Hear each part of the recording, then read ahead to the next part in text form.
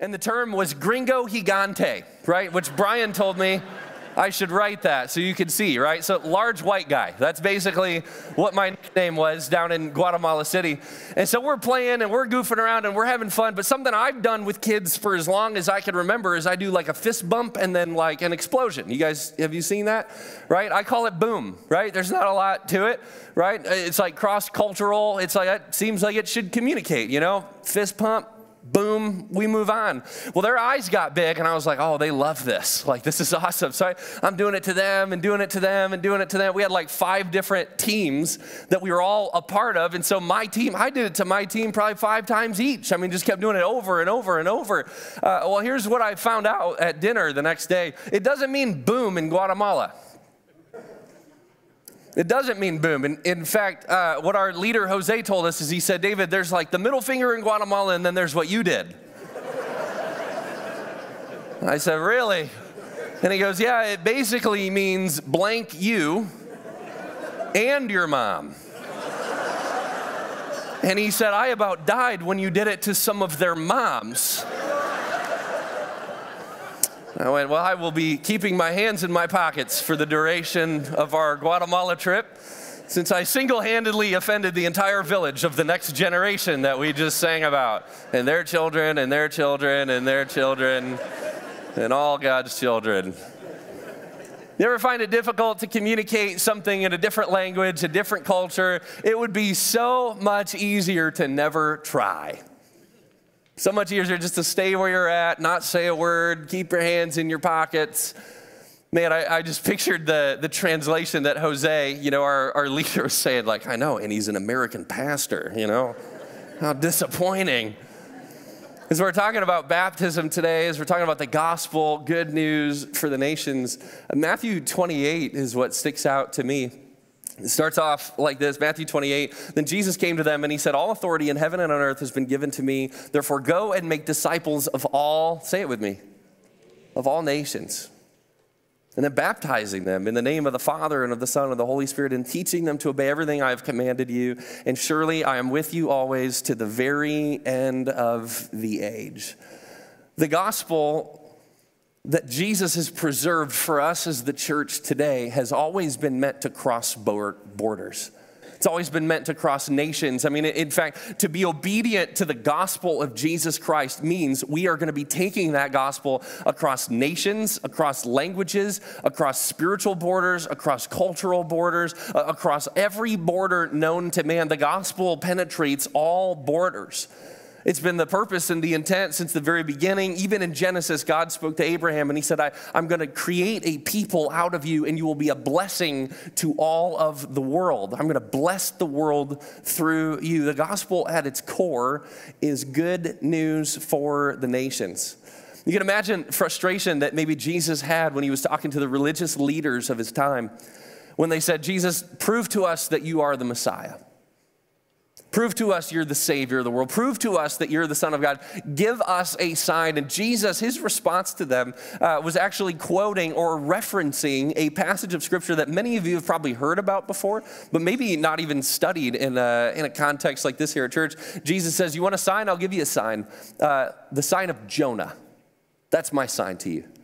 You would know if you saw me that I was the king or uh, the king of the world, the son of God, you would know that I am him based on the sign of Jonah that I already gave you in the Old Testament. So I wanted to take you back. I wanted to read through some parts of Jonah to illustrate and to get after what Jesus was trying to communicate to the religious leaders of his time, to the to the Jews of the time, to this movement that Jesus started called Christianity.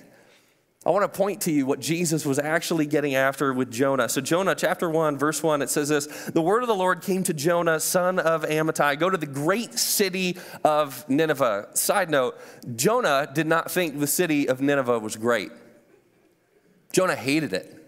He hated the Ninevites because they were a brutal people. They were a wicked people. The, the feud and the division between the Ninevites and Jonah's people, I mean, it was deep, so deep, there was a hatred that fueled over and over and over. But God said, Go to the great city of Nineveh and preach against it because its wickedness has come up before me.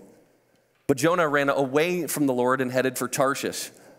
He went down to Joppa where he found a ship bound for that port. After paying the fare, he went aboard and sailed for Tarshish to flee from the Lord. So a lot of us don't know where these places are. That doesn't mean a lot. You see Tarshish, you're like, is that tartar sauce? Nope. Tarshish is a totally different city, but let me show you a map, right? Here's Joppa. This is where Jonah was. God said, I want you to go to Nineveh. And Jonah said, No, thank you. I'll buy a bus ticket. I'm leaving. See you later. So he gets on a ship, he takes off, he runs for his life from the Lord, going, and this is funny, think about this. Jonah, I would rather see my enemies suffer and die than go to preach a message that might give them the possibility of being saved. That's how much he hated Nineveh. That's how much he didn't care. That's how much he was content with the divide. And yet, I want you to see God's heart for the nations here.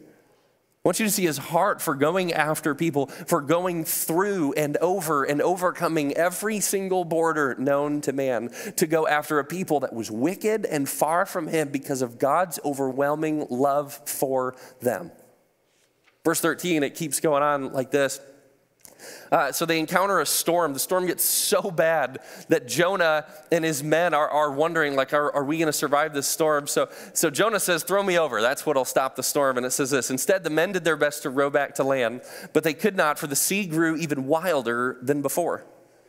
Then they cried out to the Lord, Please, Lord, do not let us die for taking this man's life. Don't hold us accountable for killing an innocent man, for you, Lord, have done as you pleased. Then they took Jonah and they threw him overboard, and the raging sea grew calm. I mean, you can imagine the scene, right? Like everybody's freaking out, they're throwing stuff overboard, and then all of a sudden they throw Jonah overboard, and everything goes back to normal. You start wondering, who in the world was this guy? At this, the men greatly feared the Lord. They offered a sacrifice to the Lord and made vows to him. Now, the Lord provided a huge fish to swallow Jonah, and Jonah was in the belly of the fish three days and three nights. What an opportunity for reflection. you know, what was that like? What is he thinking through?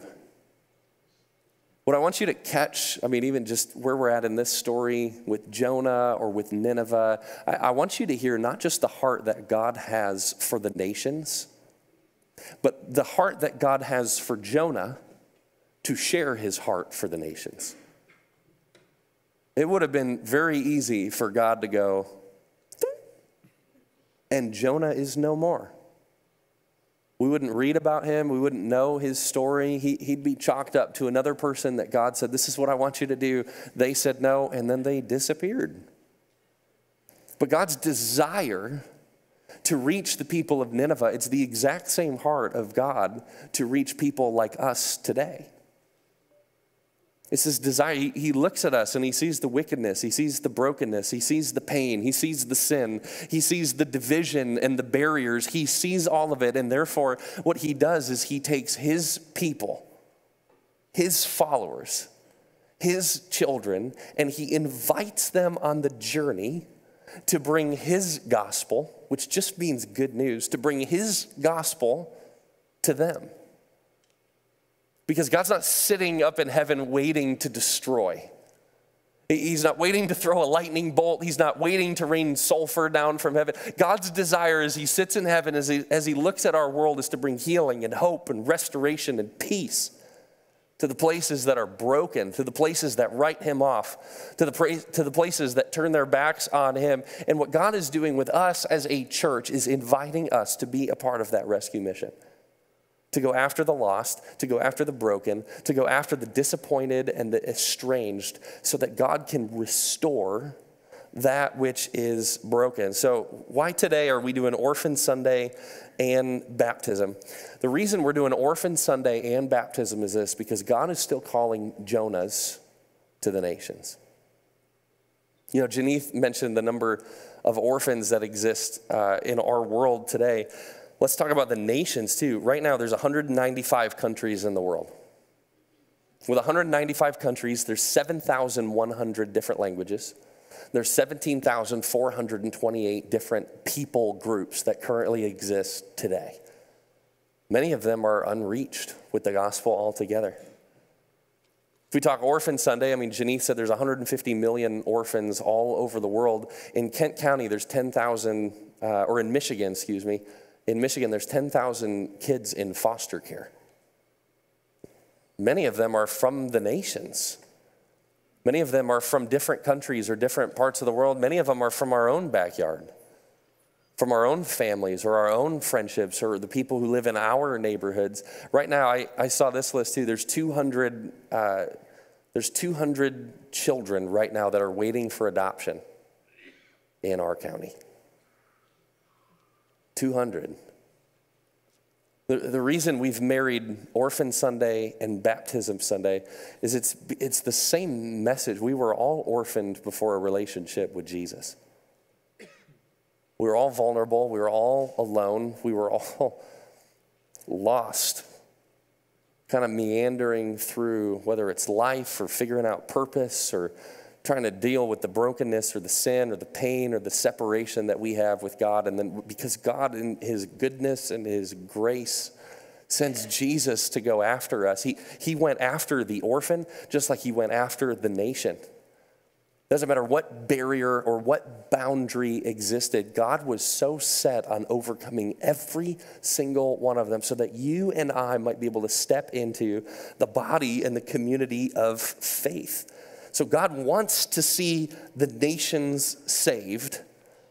The question we have to wrestle with is do we want the exact same thing? Do we want the same thing? Or have some of us maybe allowed what's going on in the world or what's going on in other nations or what's going on in, in, just the brokenness of the day and age that we live in, have some of us just allowed that to, to maybe we just take a step back? We said, it doesn't really matter if I have a heart for the nations or not. It doesn't matter if I'm a part of visiting other cultures and nations or learning other languages or furthering the gospel in these places. Even like Janith talked about with Ukro. Ukro is so special to our church's history. It's in Ethiopia. It is a partnership that just Frontline has with a very specific village in Ukro, Ethiopia. And so when we sponsor a child, we, it, it's not just about money, but money opens doors. Money creates opportunities for education. Money creates opportunities for clean water, which is, has been established even in their community because of the giving here at Frontline over the last few years. But, but it also opens the door. When you have other physical needs that are met, you, the door then becomes open for you to meet some spiritual needs that exist in the community. You know, we're, we're going to do a trip this coming year in 2023 out to Ukro, Ethiopia. If you have a sponsor child, or if you want to see how some of your dollars are at work making a difference in the world, you could go. You could be a part of that. But what we learned even on Guatemala, and I, have been to, I think, six or seven different countries around the world, what, what I learn every time is the nations don't need our money. They really don't. If that's a, a, sticking point for you, you go, I don't want to do that. This is a pitch, whatever. It's, it's not. What, what the nations need, what people need is your relationship. They need your heart. You know, God didn't call Jonah and he, he didn't say, write a, write a check and send it over to Nineveh, because that's all they need. He said, No, no, I, I'm sending you to Nineveh. I want you to be there. I want you to look them in the eyes. I want you to meet them as people. I want you to see them the way that I see them. God's heart for the nations and his heart for the church today is to do the exact same thing. He, wants his heart, his burden, his pains for people that are far from him, both abroad and local. God wants his heart for them to also be your heart.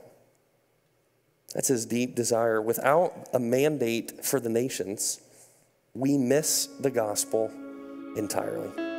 Hey, thanks for watching this video. We hope you enjoyed it, hope it made an impact on your life somehow. And if it did, don't forget to like or subscribe or share it on social media with your friends as well. Uh, we always love seeing you, and remember that you can join us live every single Sunday. So hope to see you there.